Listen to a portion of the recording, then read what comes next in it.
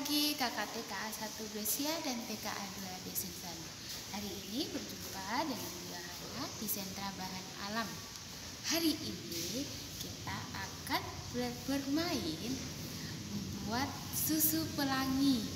Seperti apa ya? Nah, Yohana mau menunjukkan dulu bahan dan alatnya. Yang pertama ada susu, harus susu putih ya. Ada susu, lalu ada pewarna makanan. Ya ada pewarna makanan. Lalu yang ketiga ada sunlight kakak-kakak bisa mengganti dengan sabun rinso. Lalu ada cotton bud. Lalu ada piring. Nah bagaimana caranya? Yuk kita mulai membuat. Yang pertama, tuangkan susu ke dalam piring. Seperti ini.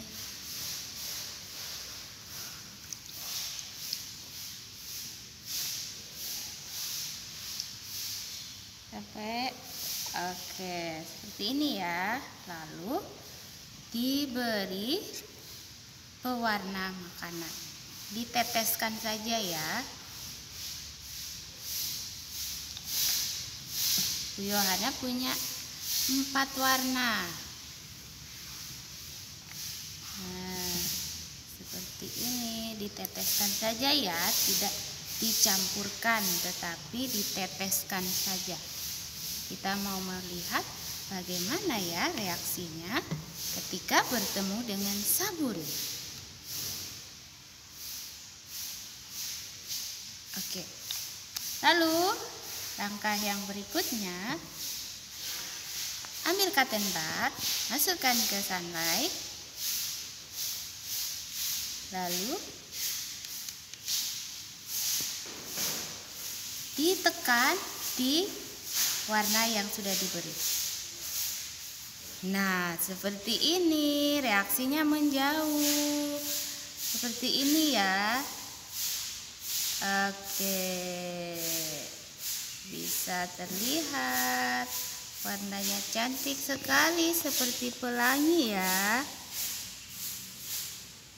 Oke warna pelangi ada apa saja warna pelangi merah kuning hijau biru jingga apalagi ya Nah, kakak-kakak bisa meneruskan. Apakah sudah terlihat seperti pelangi, warna pelangi?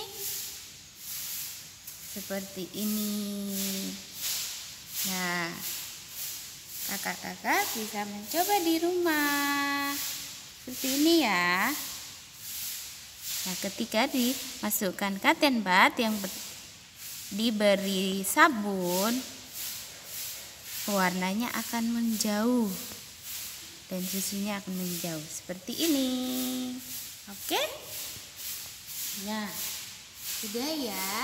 Hari ini kakak-kakak belajar belajar sains jadi kenapa susu susu ketika diberi sabun bisa menjauh karena susu mengandung lemak dan protein dan Susu sangat sensitif ketika bertemu dengan sabun.